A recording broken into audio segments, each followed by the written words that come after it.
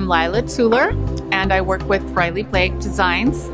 Um, I've designed about six collections with them, I believe.